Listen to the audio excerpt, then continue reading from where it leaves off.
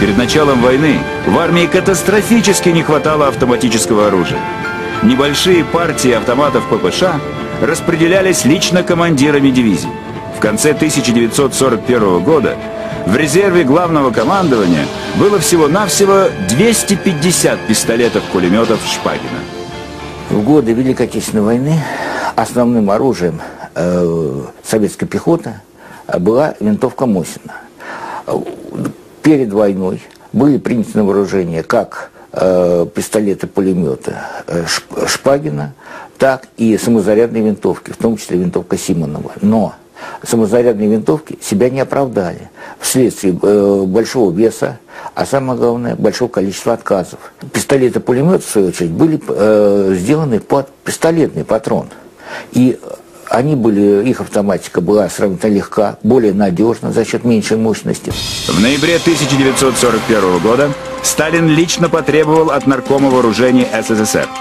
Товарищ Берия, Срочно примите все необходимые меры для увеличения выпуска пистолетов-пулеметов Шпагина. Фронту нужны автоматы.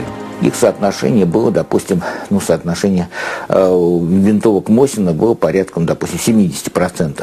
Тоже, кстати сказать, и у немцев. К сожалению, наши э, кинематографисты любят показывать немцев исключительно э, с пистолетами-пулеметами. Пистолет-пулеметами а э, вооружались только э, танкисты, э, диверсанты, определенные э, военная полиция и так далее, и так далее. То есть, попросту говоря, немецким основным оружием германской пехоты была винтовка образца 1898 года, которая по своей баллистике и весгабаритным характеристикам была близка к винтовке Мусина.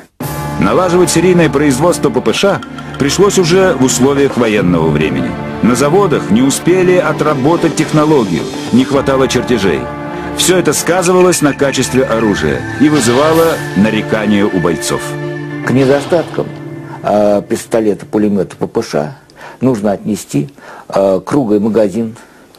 Он достаточно емкий был, но круглый, он был очень неудобен при носке, да, и при боевом использовании. Э, впоследствии от круглых магазинов отказались во всех автоматах, ну, за исключением э, некоторых э, станковых и ручных пулеметов. Георгий Шпагин, конструктор-самоучка, сложные технические проблемы решал методом проб и ошибок. На помощь ему пришел молодой инженер Николай Макаров, который сам вызвался провести более точные расчеты, чтобы улучшить боевые качества ППШ. Меня в институте-то учили вот по технологии, вот рассчитаем и сделаем. И, как говорят, что удивительно, рассчитал, сделали и получилось. Благодаря участию молодого инженера рекламации с фронта прекратились. Знаменитый ППШ благополучно дошел до конца войны. А начинающий конструктор Бакаров после войны создал свое авторское оружие – легендарный пистолет Макарова.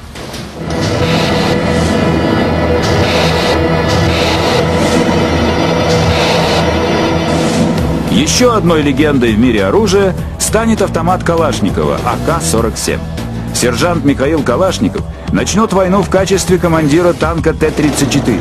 Будет участвовать в кровопролитных боях под Брянском и на личном опыте убедиться, армии срочно требуется новое автоматическое оружие.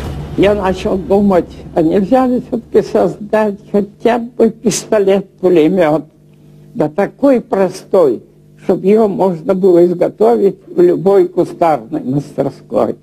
Эту задачу Калашников решал в течение нескольких лет.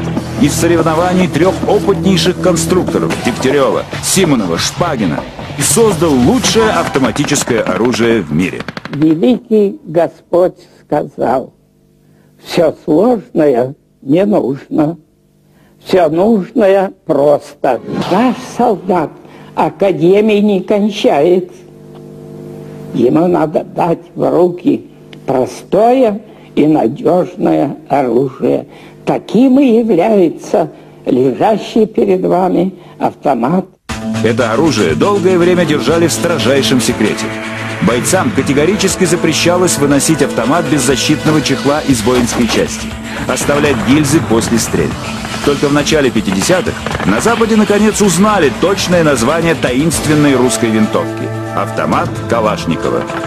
По простоте применения, мощи и надежности этому оружию до сих пор нет равных.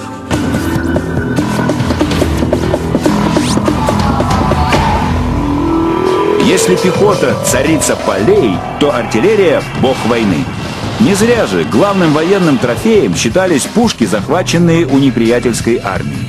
Отечественная артиллерия к началу Второй мировой войны насчитывала уже шесть столетий и являлась главной ударной силой на суше и воде. Это было сталинское определение «бог войны». Действительно, без артиллерии, вот я всю войну прошел, без артиллерии ни одно наступление не начиналось. Ни одно. Только когда артиллерия обработает хорошо передний край и ближайшую оборону противника подавит, только тогда пехота могла подниматься. И танки могли идти. Только тогда. А так ни с того ни с сего не пойдешь. Из 140 тысяч полевых орудий, которые использовались во время Великой Отечественной войны, более 90 тысяч были созданы конструктором Василием Грабиным. Его имя в то время держалось в строжайшем секрете. Зато дивизионную пушку ЗИС-3, вобравшую в себя все достоинства прославленной русской трехдюймовки, знали все. Это самая массовая пушка и самая удобная. Она, в конце концов, была, так сказать, названа как лучшее орудие вообще в мире вот той Великой Отечественной войны. Массовое производство ЗИС-3 увеличило огневую мощь советской пехоты на порядок. Пушка успешно боролась с пехотой и танками, уничтожала укрепленные точки. Силуэт ЗИС-3 также легко узнаваем, как и танка Т-34 или штурмовика Ил-2. Эта фронтовая пушка стала одним из самых известных символов советского оружия, победившего в войне была превосходным противотанковым орудием. Но до появления тигров, э, тигров, пантер и фердинандов, то есть новой бронетехники, э, которая э, появилась летом 43 года на Курской дуге. Тогда конструктор Грабин получил личный приказ Сталина создать новое, еще более мощное орудие. И менее чем через полгода появились три опытных образца. Пушки калибром 85, 100 и 122 миллиметра. Оптимальным был признан 100-мм калибр, и новая пушка под индексом БС-3 была принята на вооружение. Пушка была настолько ценная, что она не, не давалась ни дивизиям, ни корпусам. Она была в резерве главного командования и направлялась на самые танкоопасные направления. Универсальная пушка БС-3 могла пробить броню любого немецкого танка и даже королевского «Тигра» стреляла фугасными осколочными снарядами и служила наиболее эффективным средством поддержки пехоты во время боя. И она оказалась э, поразительно живучей. То есть она до сих пор находится на вооружении ряда стран Ближнего Востока, Африки. И э, пушка БС-3 участвовала во всех, без исключения, локальных конфликтах. Причем она не устарела и до сих пор. Под нее э, в 80-х годах был создан э, противотанковый управляемый снаряд, который мог пробивать, в общем-то, э, и достаточно современные танки, типа М-60, А-3 американский, Меркаву и так далее. Затем на вооружении появились более мощные самоходные установки Су-100 с пушкой БС-3. За способность пробивать броню всех видов немецкой бронетехники, в том числе «Пантер», «Тигров» и «Элефантов», это орудие советские солдаты назвали «зверобоем». Ну, испокон веков же русская артиллерия славилась. Поэтому немцам было тяжело с нами соревноваться. У нас были орудия лучше, и мы умели стрелять лучше.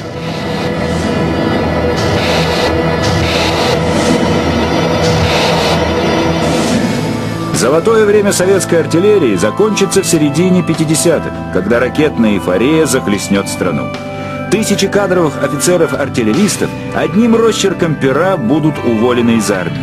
По приказу Хрущева закроют и перепрофилируют пушечные институты ИКБ. Хрущев, он человек был решительный, и он э, плохо понимал проблему совмещения, у него все решалось по принципу замещения. То есть он кукурузой пытался заместить, заместить обычные злаки. Ситуация изменится лишь после отставки Хрущева. В 1967 году выйдет постановление правительства и ЦК КПСС о создании самоходных артиллерийских установок «Акация», «Гвоздика» и «Фиалка». Цветочную серию продолжат атомные артсистемы, 203 миллиметровая гаубица «Пион», самоходный миномет «Тюльпан» калибром 240 мм. Даже без ядерных боеприпасов мощь этих орудий потрясала. Аналогов нашему миномету, по-моему, не найдется. Во всех армиях западных стран калибр больше 160 мм не присутствует. У нас же 240, то есть намного-намного больше. Разрушительные силы и мощь этого орудия, ну, впечатляют, скажем так. В начале 80-х в КБ «Спецмаш» приступит к созданию модернизированной арт-установки «Малка». Сегодня это одна из самых защищенных и интеллектуальных артиллерийских машин. Создание самоходной артиллерийской установки э, артиллерист, он э, и э, тяговая лошадь, он и человек, который готовил э, позицию для установки этой. Он и э, был заряжающий. И э, вот э, посмотреть э, на сегодняшнего артиллериста, который обслуживает самоходную артиллерийскую установку, это э, интеллигент.